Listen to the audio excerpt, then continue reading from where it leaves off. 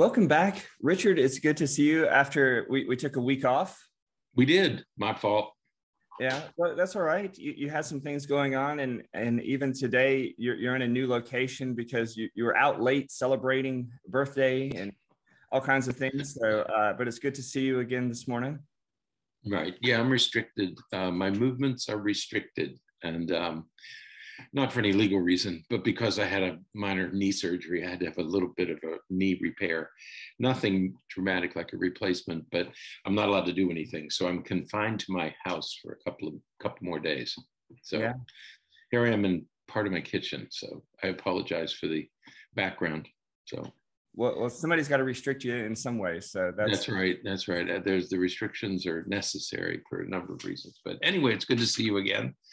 Yeah. Um, it's nice to be able to um, emerge a little bit from my captivity, but um, it's good to see you again. How are you doing, by the way? I'm doing well. Thank you very doing much. Doing okay? Yeah, doing. Yeah, well. I never get to see you. What's in the background there? Um, I, I, I finally got some shelves up and with my some of my Star Wars and and Lego minifigures. So uh, you they're can't tiny. They're, well, hence the name minifigures. They're they're small. Um, maybe I didn't miss you. Um, um, no, because you had the Christmas tree up there for a while. Yeah. And now yeah. the shelves, but the shelves are permanent. Yes, uh, for okay. the most part. Um, okay. Yeah. But uh, okay. so I got it, there, there are all kinds of minifigures up there, some Star Wars and some Marvel comics and stuff. When I worked in um, when I worked in one of those high tech places, we had a mm-hmm. room full of computer uh, programmers, mm-hmm. and all of them had collections of various kinds of statues and things that, of course, I didn't recognize at the time. at the time. uh, but anyway, um, yes. that's what you have there. You, you're like one of those technology guys. Okay, I'll, I'm not sure if I should take that as a positive. well, you're our technology guy in the office, so maybe it's maybe it's appropriate. All right. Well, thank you. Okay. So, um, well, today we're going to have our conversation. Um, well, the last time we met, we, were, we talked about a child-centered divorce. Right. We said right. we're going to come back next time and talk about uh, talk about a little bit more about um, some other pitfalls and some issues that happen um, that are not so good for kids um, when families get divorced and separated. And right. so we're going to continue that conversation today. Right. Um, so, uh, because it's a very important thing, it, it happens often. Uh, many relationships end in divorce.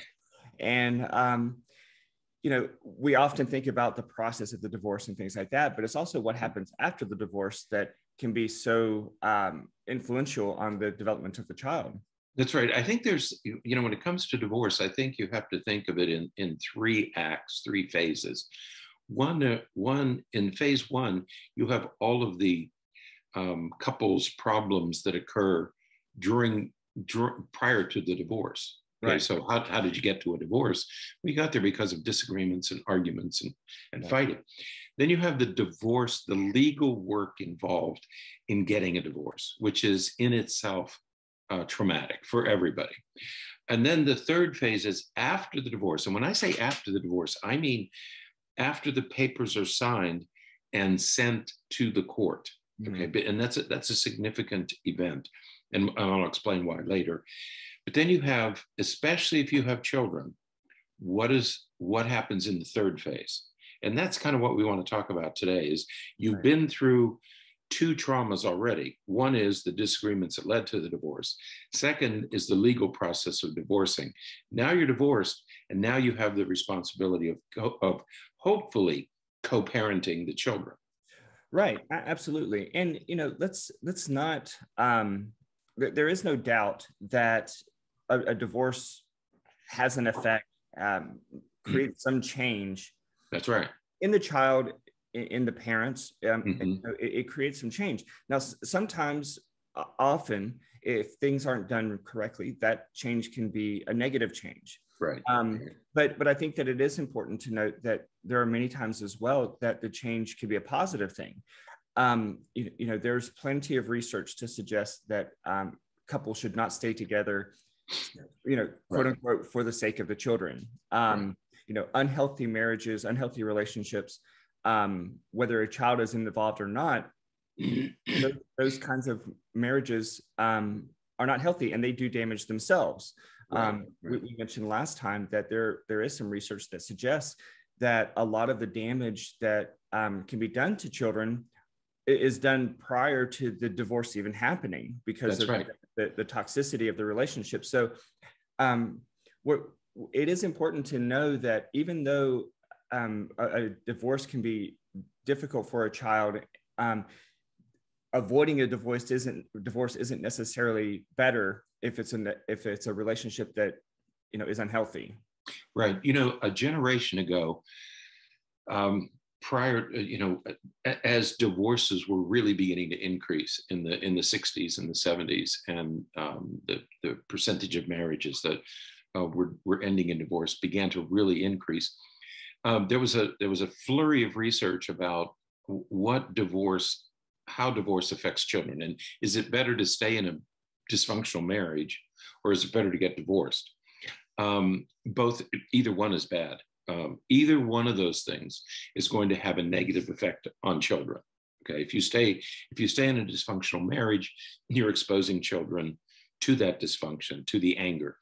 If you get divorced, you're exposing them to the effects of divorce. So the answer to both, yes, it's it's bad either way. Okay, um, no matter the age of the children, even young adult children, are going to be negatively affected by a divorce um, it doesn't it, there's just no way to shield everybody from it absolutely so so when it happens obviously there's a lot of emotions and a lot of challenges that come about as a result of um, you know when a divorce is happening and when a marriage is is is ending.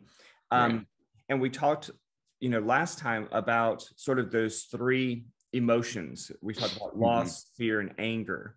That's right. Um, and, and those emotions can become supercharged during this mm-hmm. time um, of the divorce. Right. Yeah those are the big three. I mean i mean everybody i talk to who's going through a divorce everybody feels loss everybody has uh, is afraid uh, what what will the future look like right.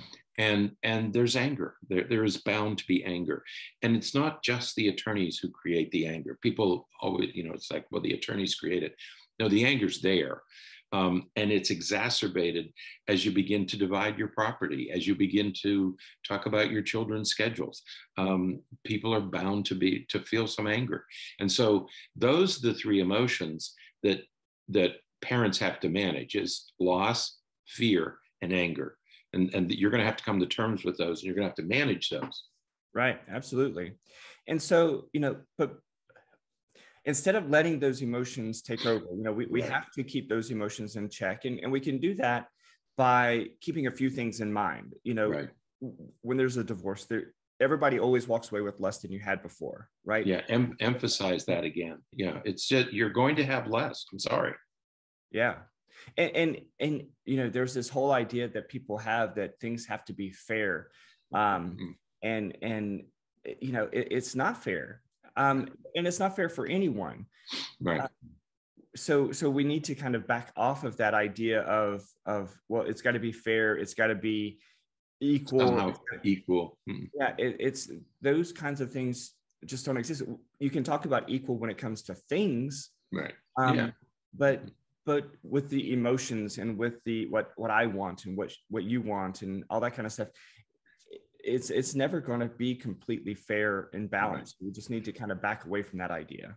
Right, right, and also don't try to win. Um, uh, you know, the, people enter divorces as though it's some kind of a competition that I have to get more than my partner or my partner's getting more than I am.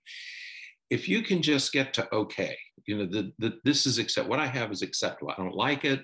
I would like to have more, but I can live with this. Okay. Just get to I can live with this. Don't get it, it's very rare that you're going to get that either partner will ever get to I I came out on top.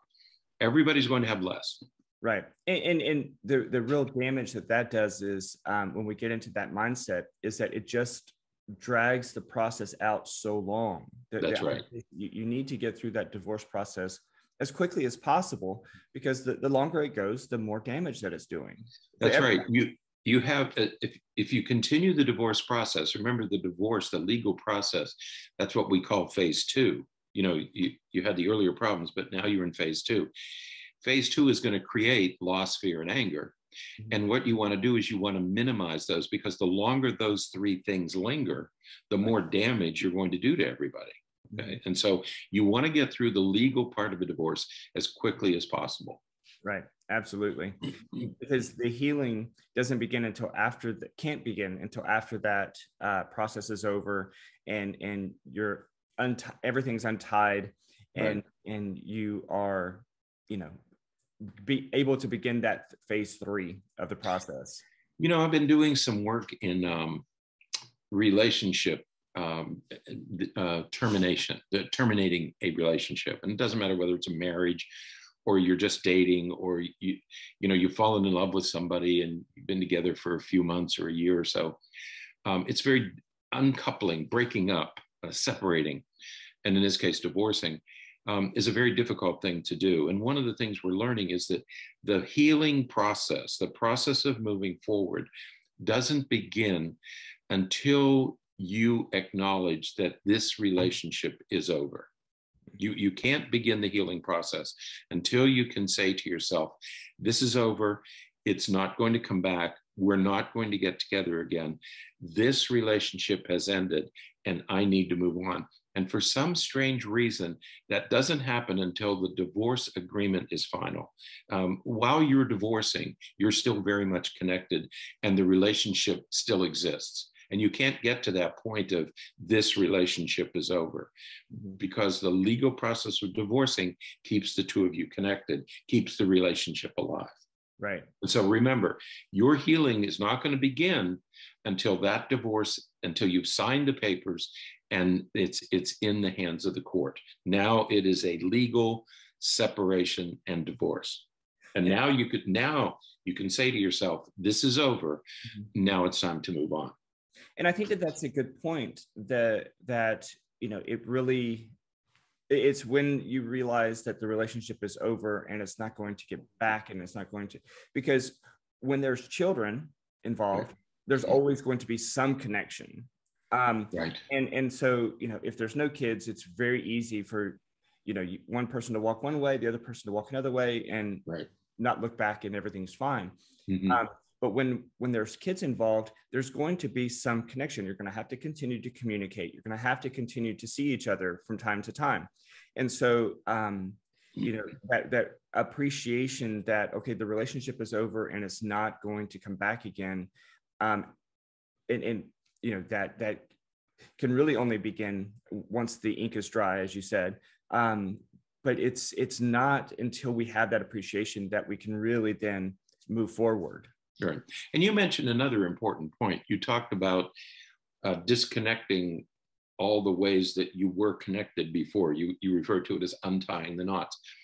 It, think about it for a moment. Um, when you're married, you have so many ways that you're connected to each other birthdays, holidays, possessions, mm-hmm. shared possessions. Um, if you have a vacation house, um, you know, you have your, your, your family home, but you might have a, a, a cottage or a lake house or a vacation house somewhere um, things you own together until you untie and disconnect all those things that connect you again the healing process can't can't continue and the more connections you have the more the more difficult it's going to be the, the longer it's going to take to separate.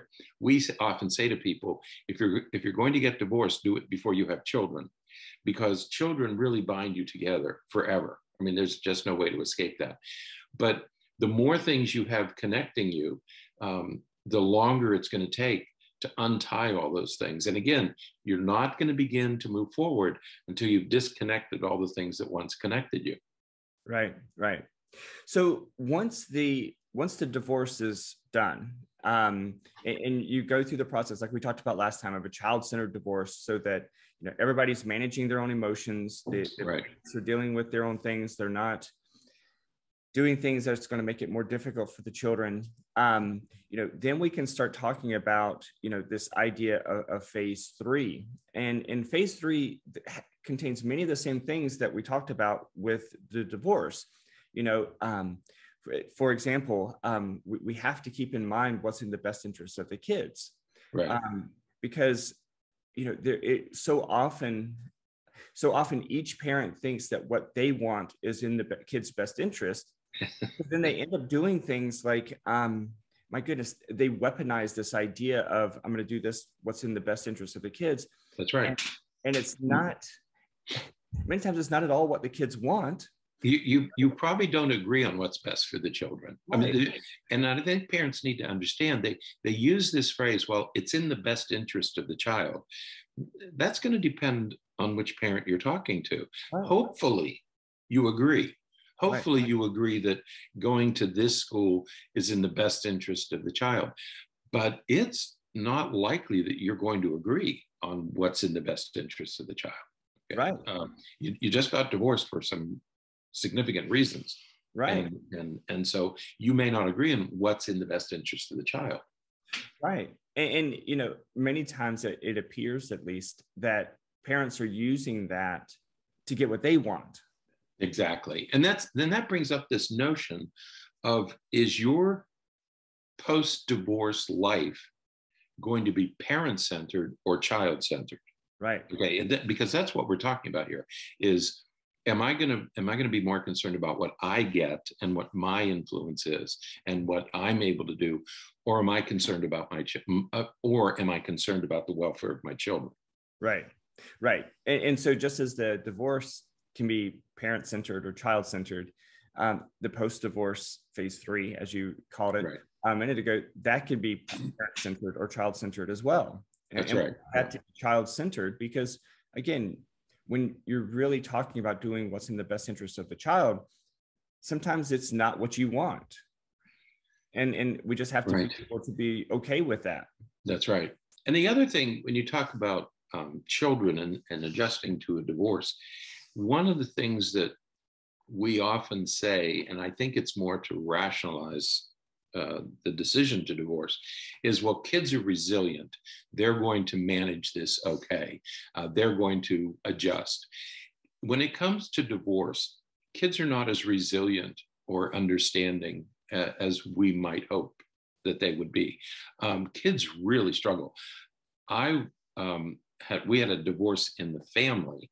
Uh, it was a cousin or something and their children were in their 20s and they had an extraordinary i mean they hmm. were grown adults. They were they had uh, college graduates and they were out living their own lives. And when their parents announced that they were divorcing i think they call it a gray divorce now. Mm. um, uh, it, it's the when when people who have been together for more than 30 years or something when they're older and they have gray hair um, that's called a gray divorce even a gray divorce is difficult on the adult children because it's going to affect where they go for holidays, how they celebrate birthdays, how they're going to tell the grandchildren. And so, um, so regardless of the age, it's not like this age can, every age suffers. Right. Little children, um, preschoolers, they have one kind of struggle. School age children have another kind of struggle. Teenagers have another kind of struggle. Adult children have another kind of struggle. And they're not as resilient as we think they are. And right. if you're if you're divorcing or if you are divorced, you need to think about the effects that it's having on the children. You have to manage your emotions so that your children are able to make this enormous adjustment that they had no control over.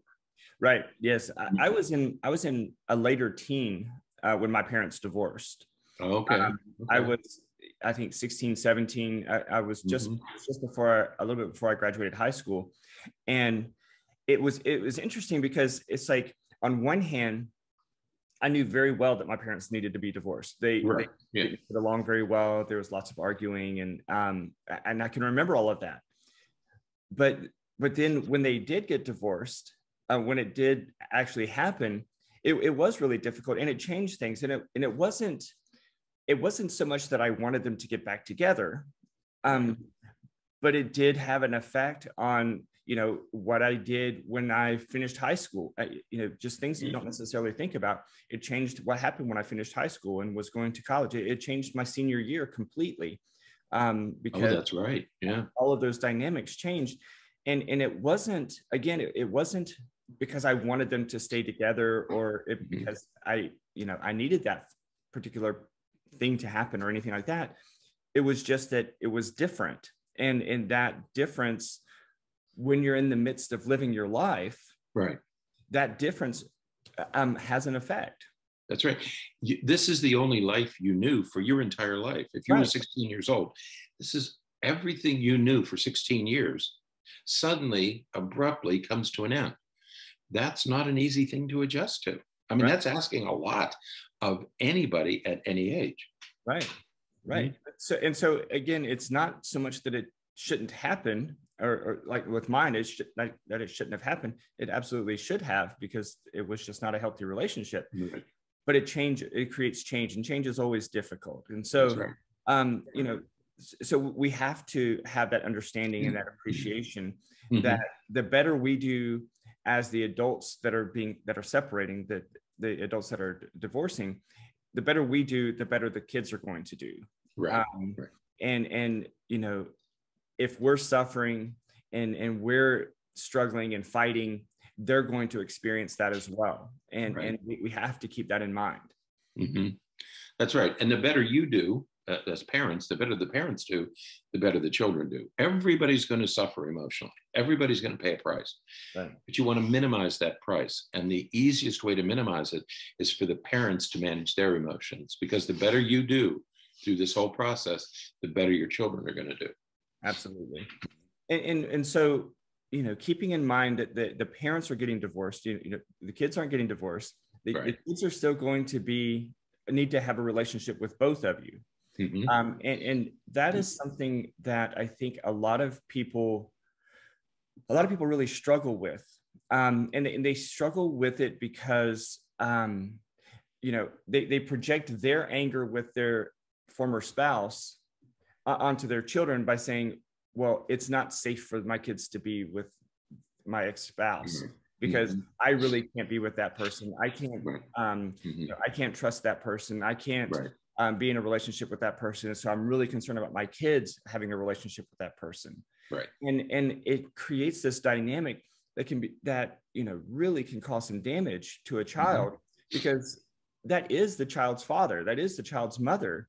Mm-hmm. Um, and whether you can get along with that person or not, um, right. the, the child is going to do better if they ha- can have a re- healthy relationship with that person.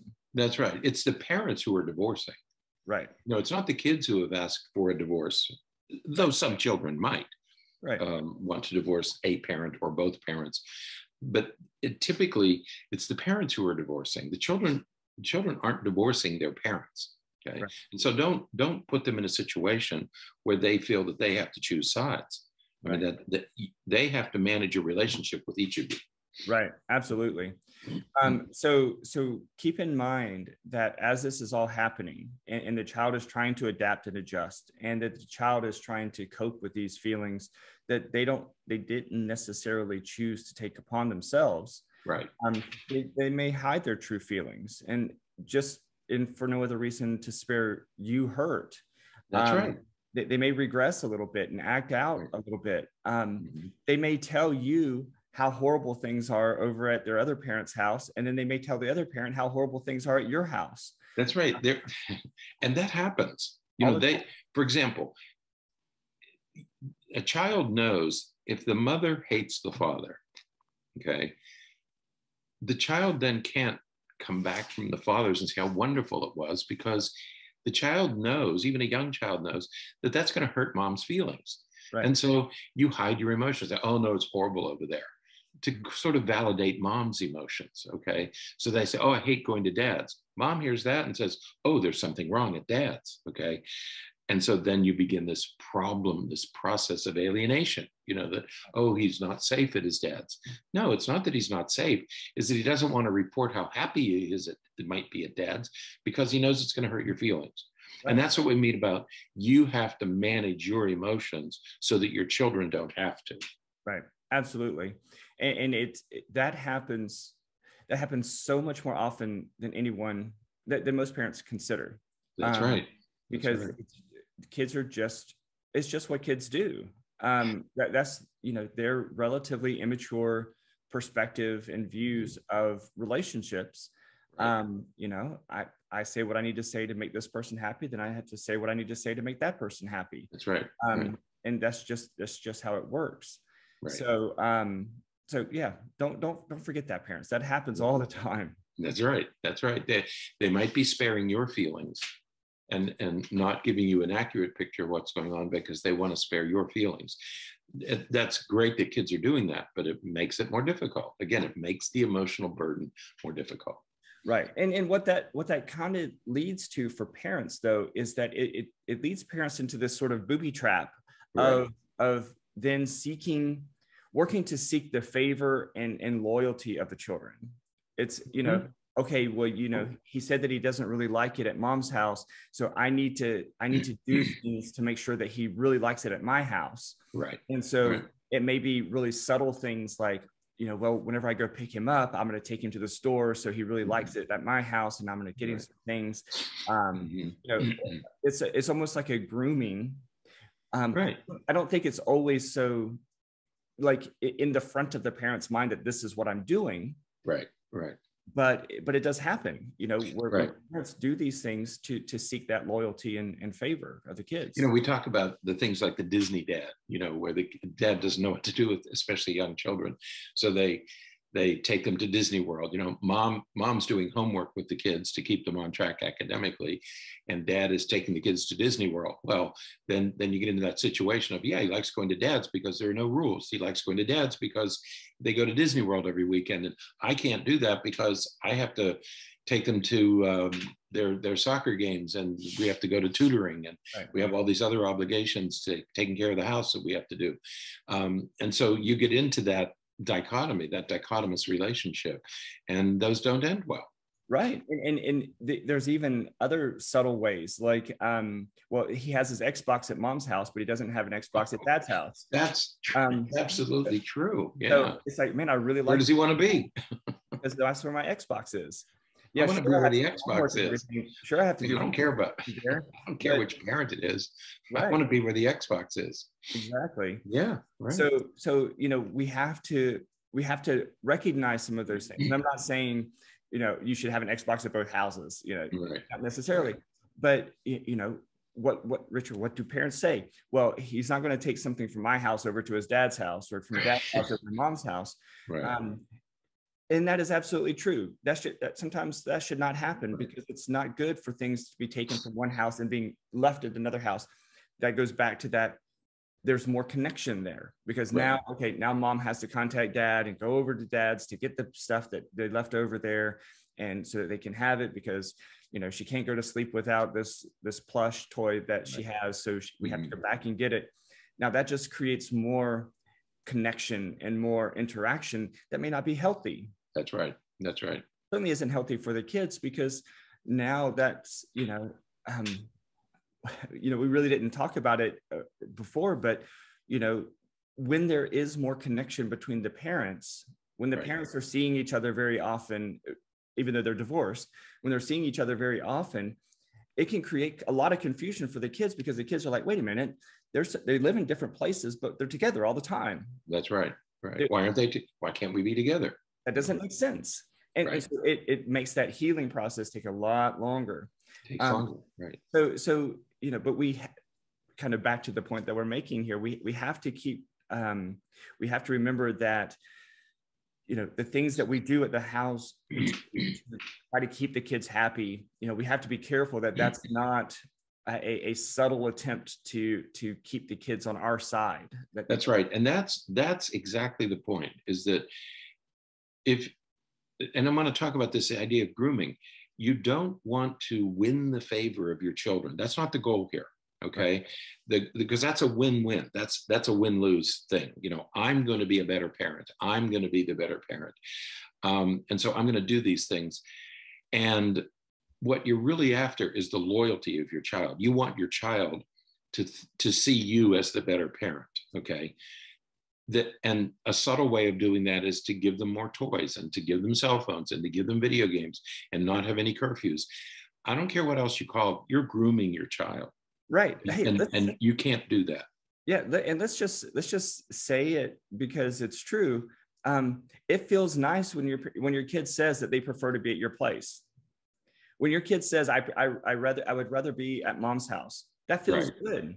Mhm. Now, it's not great. It's not a good thing. Um, no, it's not good for the kid. it's not good for the kid, but it feels nice Right. as a parent. Again, it feels good to the parent. I, my, my, the parent's emotions are intact, Mm-hmm. but not, but, but the kids are not going to be. I mean, because you're, you're setting up this, this division again, you know, that you're, you're the better parent, you're the preferred parent. right. And you have to avoid that. When, if you're going to co-parent, you have to avoid that temptation. And that temptation exists in every marriage and every divorce. Right.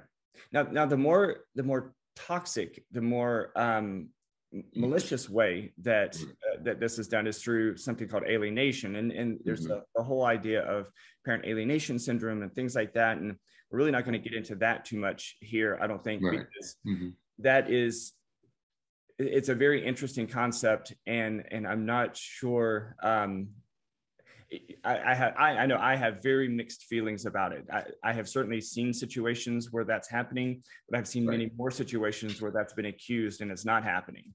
Right. So, um, you know, I, I think it's overused in, in some situations again because I need to win or I need that loyalty. You know, parents will do those kinds of things that, or, or at least claim those kinds of things are happening, Right. um, rather than look at themselves at what they're doing. So Yeah. So, but but but you're right. It's it's in with grooming. It's I want to win the favor of the children. With alienation, it's I want to turn the kids against the other parent. right, Very different process. Okay. Very destructive and, as you say, a very toxic process Right. where you actively seek to turn the children against the parent. right, absolutely. So so the bottom line is is that it's really in the kid's best interest if they have a good, strong, healthy relationship with both parents. Right. um, you know, we need to resist that urge, that tendency to want them to to be our ally, to be Mhm. our on our team. Um, Right. Again, you know, you it's already been proven that you don't get along with the other parent. That's why there's a divorce. And That's why you're divorcing. once Right. it's done, you're not anymore. You don't have to be partners from that perspective anymore. You have to be allies. Mhm. You have to be allies with each other because you have the same goal Right. but you don't have to be you're, you're not partners in that sense anymore Mhm. um, and so you know the goal is that to to recognize that the kids have to be um, have good relationships with both of you if you want them to continue to be healthy Mhm.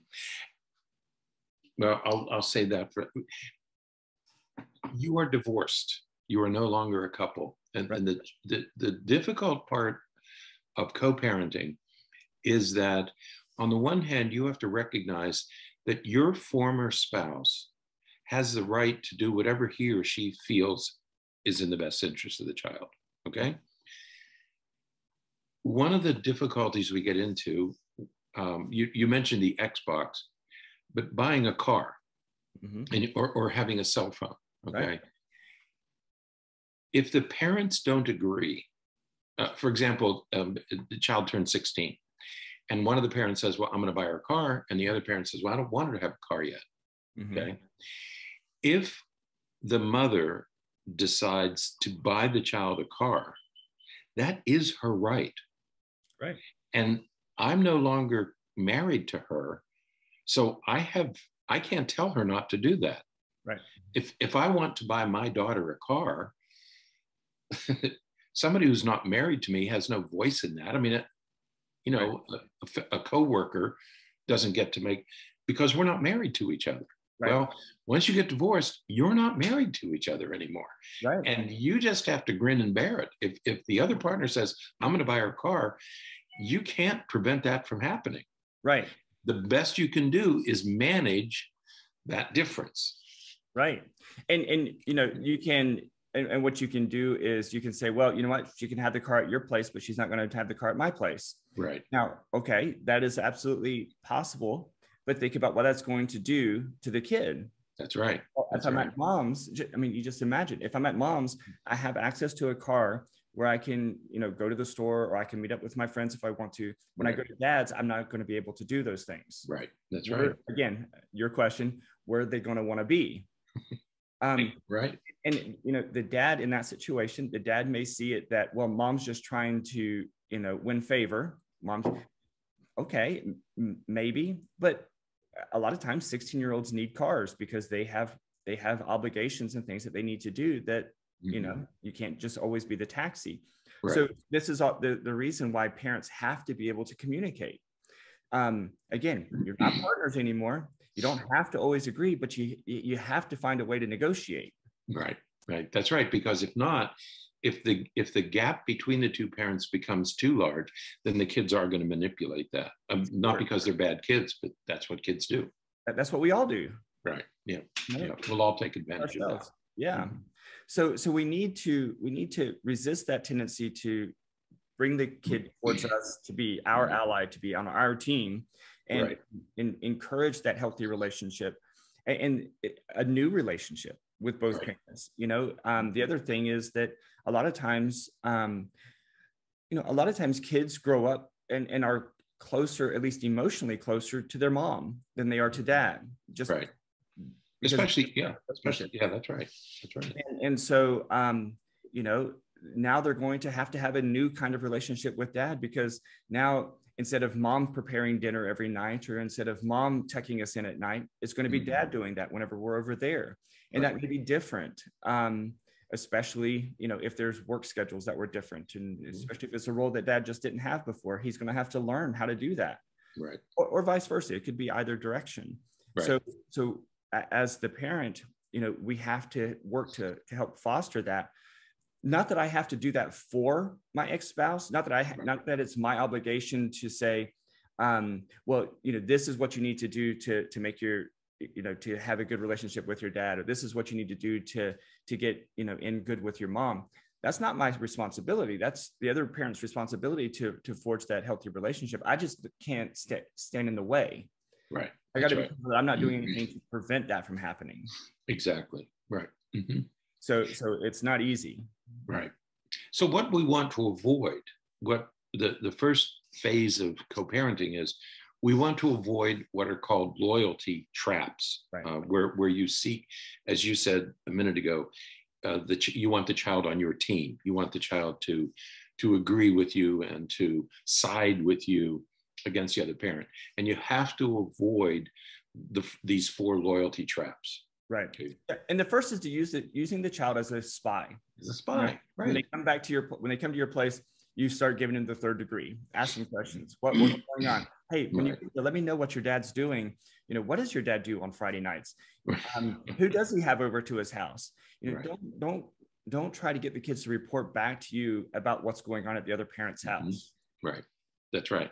Yeah, because once again, um, they even kids who are even young children, eight, nine, ten years old, if they know that their parents have an acrimonious our relationship and they're always fighting with each other. Um, those even young children know that any information they provide could be used against the other parent. Okay. And so it puts them in a terribly difficult situation. Okay. They're trying not to take sides, but you keep dragging them in to your struggle with the other parent. And as we said earlier, many times children will lie, they'll fib and they'll say, "Oh no, I hate going to dad's. He's he's be mean and he's this and he's that," simply to spare your feelings. But you're you have to remember, you're not getting. You are probably not getting accurate information from your child.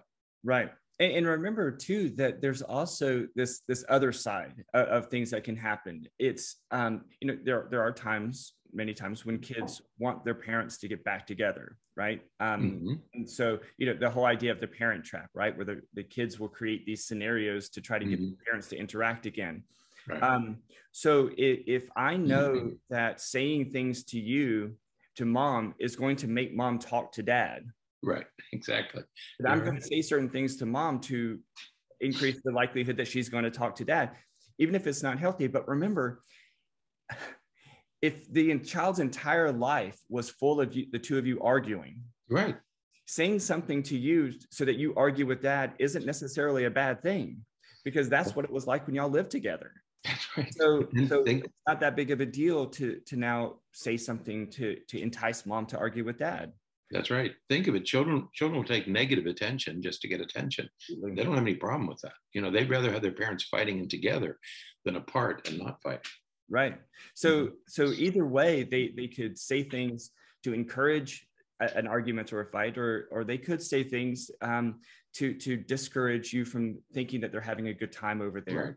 Right. Um, yeah. But but kids, you know, you, we can't put full credit into everything that they say, and we can't take what the kid says and say, okay, that's it. I'm going to court because he said right. that dad, you know, uh, right. made a cold bath. Um, we, we, we can't, we, can't do that. Yeah. So, so the, the, the biggest the way to avoid this is as tempting as it is. And my God, anybody who's been divorced knows how tempting it is to have your children report back of what your former spouse is doing.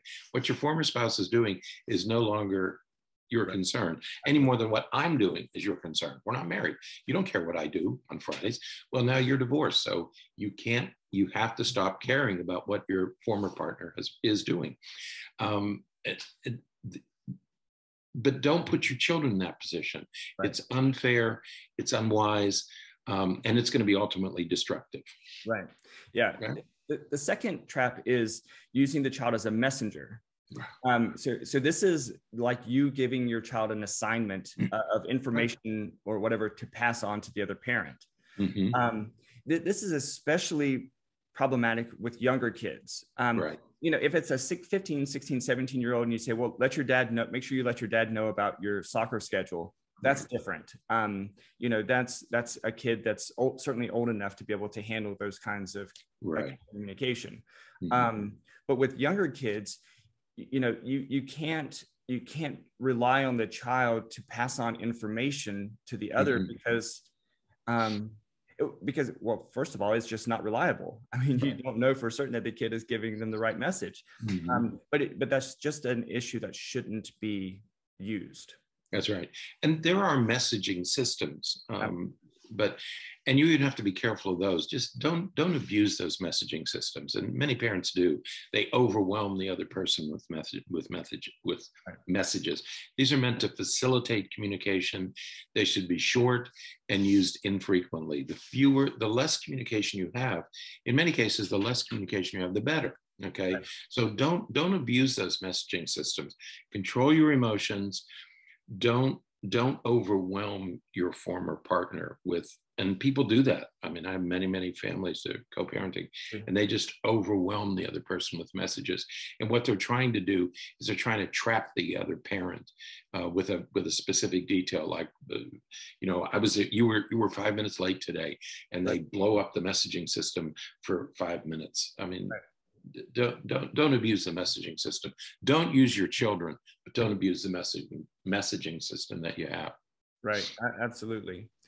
The, the third trap is using the child as a confidant. And mm-hmm. my goodness, this happens so often where right. suddenly you, you know the eight-year-old child becomes your therapist.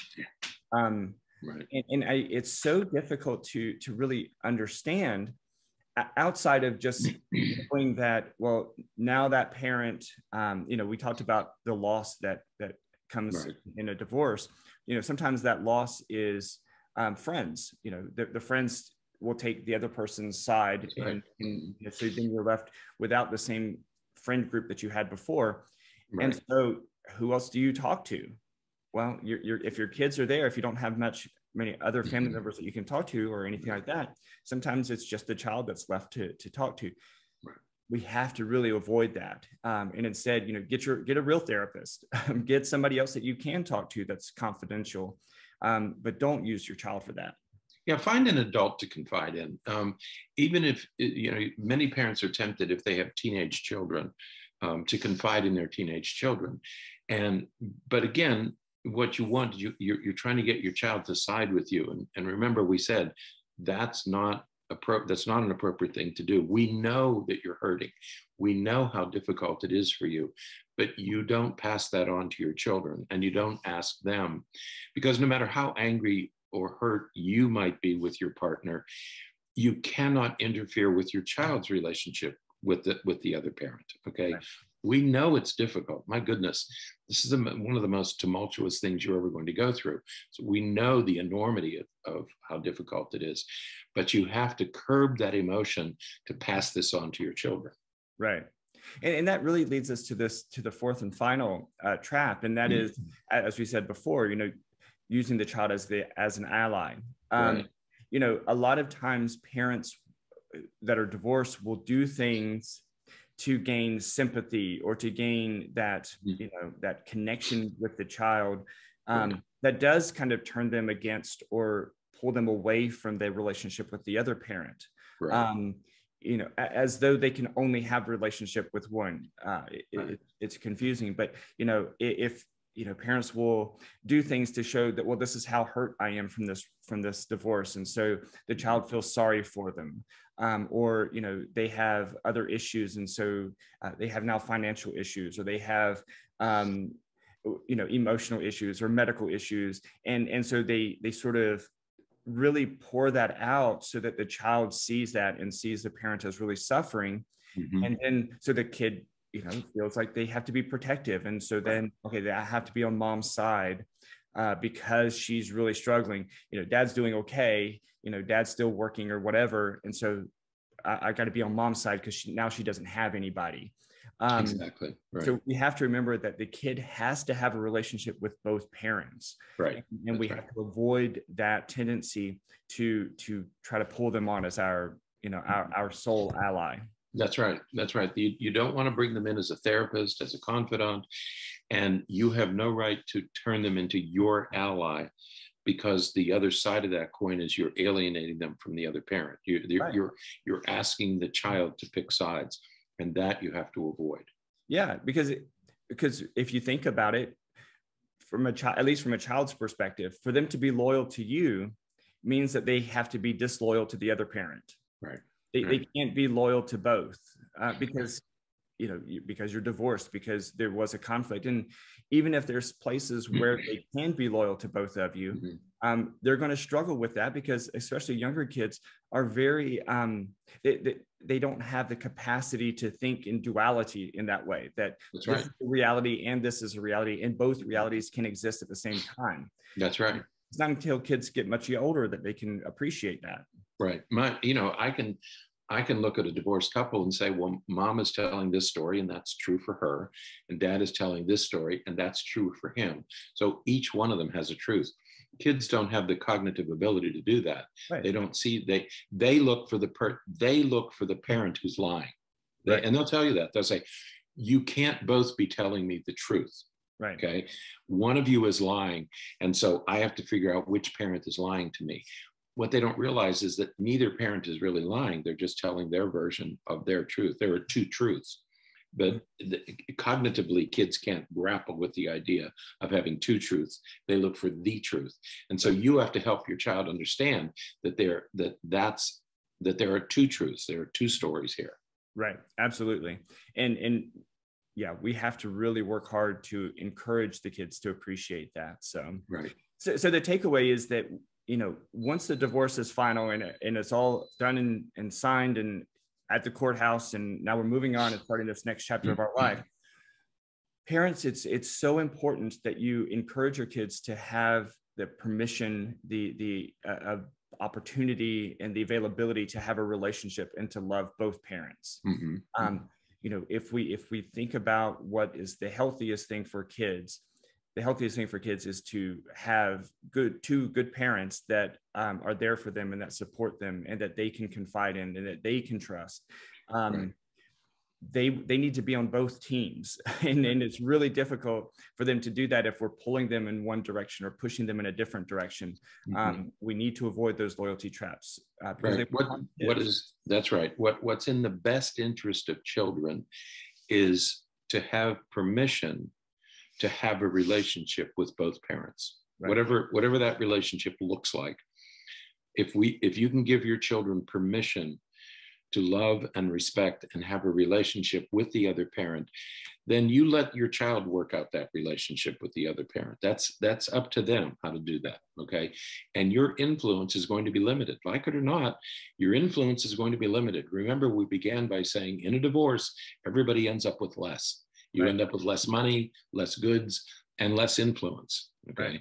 and so you just you just have to you just have to accept that and say and and give your child permission to have a relationship with each of you right a- absolutely and and it's not going to necessarily be exactly the way that you want it to be it's not, not going, to be exactly right. the way that you want it to look but it's going to be what they need it to be. And, and that's what we have to keep in mind. That's it's, it's not, it may not be what you want, but it's what they need. And Absolutely. so that, that's your obligation as a parent. All right. mm-hmm. Well, I think that's it for today. Right. Um, so lots of things there to keep in mind, folks. But um, you know, let us know if you have any questions or uh, you know, good luck. It's it's it's tough. You know, yeah. divorces are difficult um, for everybody, and um, but sometimes it's what needs to happen, and sometimes it's what um, you know we just have to weather all of that those storms just to get through uh, to have a happier, healthier life. So right. Exactly. All right. Until next time. Okay. See you next time. Uh, yes, you will hopefully you'll be up and moving around a little bit better then.